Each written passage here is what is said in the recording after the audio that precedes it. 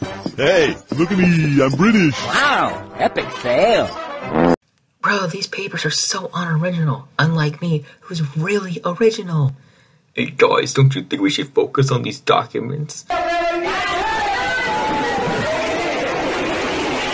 Yeah, uh, fuck you. I'm not gonna do that. We're just gonna do anything else like, uh, commit arson.